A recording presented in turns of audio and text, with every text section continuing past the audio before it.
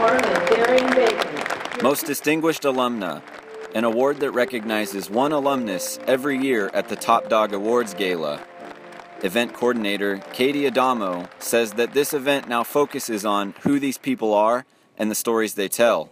Um, it's really interesting to see what these individuals are doing with their degrees. This year, we've just um, directed the program in a way to better share the stories, better. In 1973, Bacon graduated from Fresno State with a degree in psychology.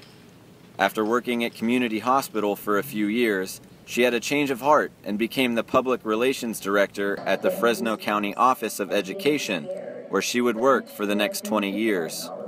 With roughly 1,200 people expected to show up and honor Bacon and many other Fresno State alumni, her journey hasn't always been bright lights and big crowds.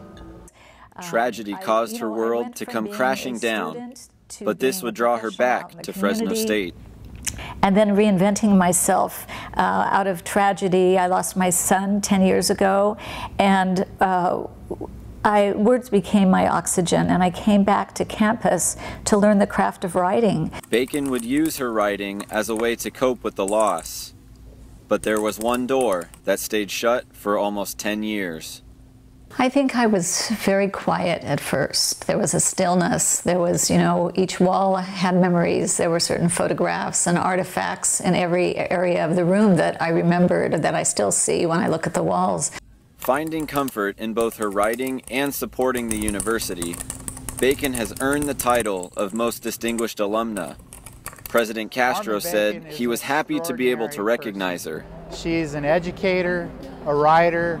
She sits on our university advisory board. She's a valued and trusted advisor.